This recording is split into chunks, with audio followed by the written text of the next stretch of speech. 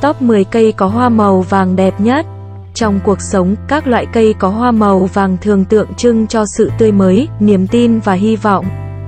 Màu vàng trong tình bạn mang ý nghĩa cho sự cổ vũ, động viên và chân thành. Màu vàng trong phong thủy luôn ẩn chứa những thông điệp ý nghĩa về sự thịnh vượng, giàu sang và sung túc. Cũng theo phong thủy, màu vàng là màu đại diện của mệnh kim. Màu sắc này cũng hợp với mệnh thổ. Do vậy, hai mệnh này có thể trồng những cây hoa hay cây cảnh cho ra màu vàng để cải thiện cuộc sống và vận mệnh của mình. 1. Cây chuông vàng một trong các loại cây có hoa màu vàng được trồng phổ biến trong những công trình nhằm tạo bóng mát là cây chuông vàng. Hoa chuông vàng sở hữu một màu vàng tươi rực rỡ, có thể làm nổi bật một khoảng không gian. Màu vàng của loài cây này tượng trưng cho quyền lực và sự thịnh vượng cho gia chủ. Cây chuông vàng có thể chịu nhiệt tốt, tán cây rộng nên cho bóng mát vào những ngày hè oi bức.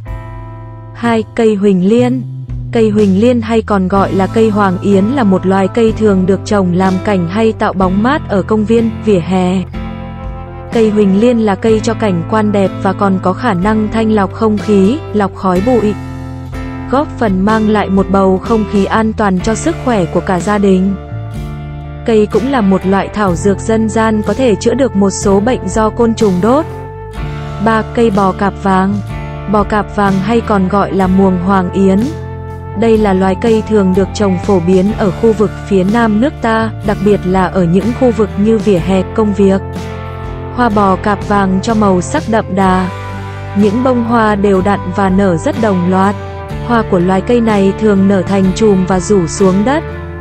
Bạn có thể sử dụng loài cây này để trang trí ở sân vườn. Trước cổng nhà, với ý nghĩa mang lại may mắn và sự sung túc cho gia đình. 4. Cây huỳnh anh Cây huỳnh anh hay còn có tên khác dây huỳnh, dây công chúa. Hoa hoàng anh là cây dạng thân leo ưa nắng và sáng, ra hoa hầu như quanh năm. Loài hoa này tượng trưng cho tình yêu vĩnh hằng và hạnh phúc được nhiều cặp đôi tặng cho nhau vào những dịp đặc biệt. Cây được nhiều chủ nhà trồng làm trang trí tường nhà, hàng rào hoặc ở ban công khi cây lớn hoa rủ xuống nhìn rất đẹp mắt. 5. Hoa mai vàng Loài cây có hoa màu vàng này phổ biến ở miền Nam nước ta vào đít Tết đến xuân về. Trong phong tục Việt Nam, hoa mai tượng trưng cho mùa xuân, sự may mắn, hạnh phúc. Hoa mai cũng là biểu hiện của sự trung thành trong tình yêu vì nở đúng hẹn vào dịp xuân về. Vì vậy, hoa mai được giao một nhiệm vụ thật quan trọng trong thiên nhiên, đó là nhắc mùa xuân đến đúng hẹn. Bên cạnh đó, tặng người khác một cành mai hay một chậu hoa mai là thể hiện sự mong muốn tình bằng hữu gắn kết trường tồn. 6. Hoa dã quỳ Dã quỳ cũng là loài hoa được dùng để tỏ ý thán phục, yêu mến và quý trọng với những người có nội tâm phong phú. Và đôi khi nó cũng là loài hoa thể hiện lòng kiêu hãnh khó khuất phục như cái cách mà nàng Helimerhat hy sinh để bảo vệ người mình yêu với sắc vàng tràn ngập lối đi, hoa dã quỳ làm khu vườn nhà bạn thêm phần rực rỡ tươi sáng vào những ngày mùa xuân. Bất cứ vị khách nào ghé thăm dịp Tết cũng sẽ không rời mắt được khỏi những bông hoa mặt trời nhỏ bé này. 7. Hoa hướng dương Loại hoa màu vàng tiếp theo có thể mang lại tài lộc cho người dùng chính là hoa hướng dương. Đây là loài hoa màu vàng lớn, luôn mọc hướng về phía mặt trời. Tượng trưng cho sự kiên định, tình cảm thủy chung, son sát.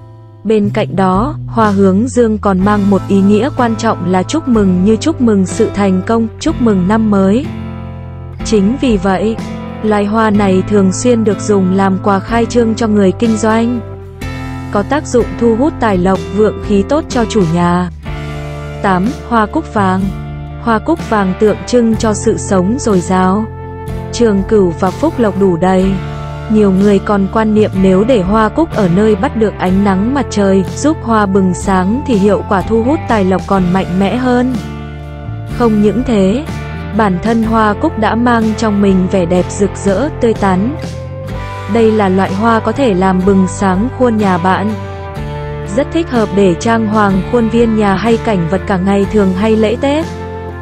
9. Cây giáng hương Cây giáng hương là cây hoa vàng trồng vỉa hè khá được ưa chuộng hiện nay. Cây có nguồn gốc từ vùng địa Trung Hải và châu Âu, nhưng hiện nay được trồng rộng rãi trên toàn thế giới. Cây có mùi thơm dịu nhẹ, ngọt ngào và được sử dụng rộng rãi trong các sản phẩm mỹ phẩm và chăm sóc sức khỏe. Cây giáng hương được trồng chủ yếu để làm cành.